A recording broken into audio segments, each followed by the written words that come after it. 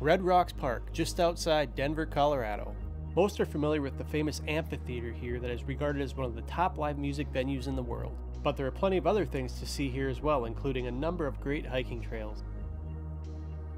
If you have a few hours to spare, the Red Rocks to Morrison Slide Loop is the perfect hike to complete. At 3.2 miles with just under 700 feet of elevation gain, the hike is considered moderately challenging.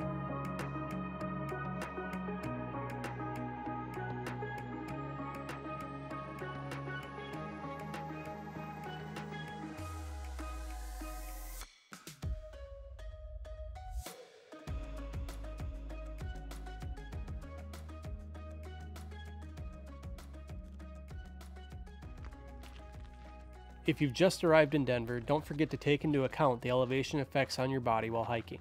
The sun can also become a factor quickly during summer on this hike, so make sure to bring plenty of water, sunscreen, and take breaks in the shade that the rock formations can provide.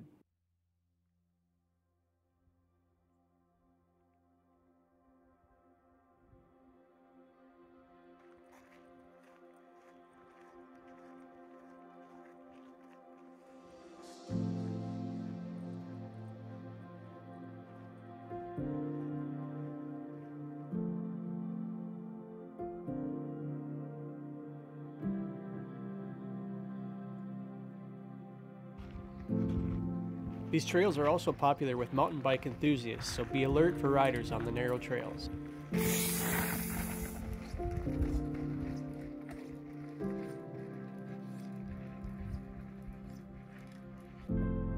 As your legs start to feel the workout from the elevation gained, the incredible views take away the pains that you may have been feeling. The summit of the trail offers a beautiful overlook of the Red Rocks Park and the Denver metro area in the distance.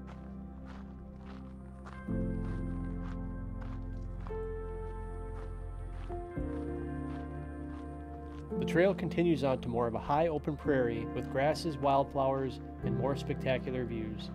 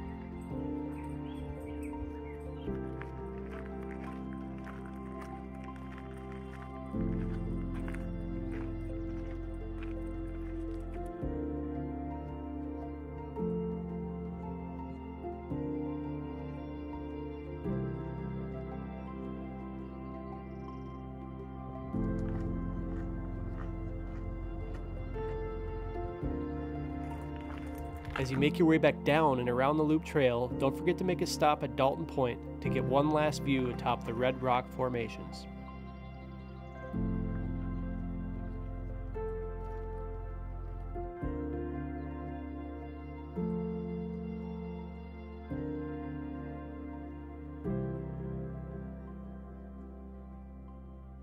Overall, we really enjoyed the trail and its easy access to the park and Denver area, and highly recommend it to anyone looking for a nice hike.